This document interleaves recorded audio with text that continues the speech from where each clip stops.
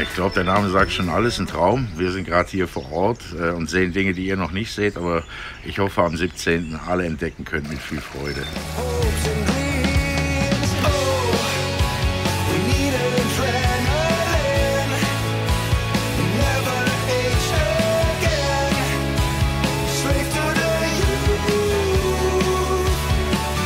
Was dürfen sich die Leute freuen?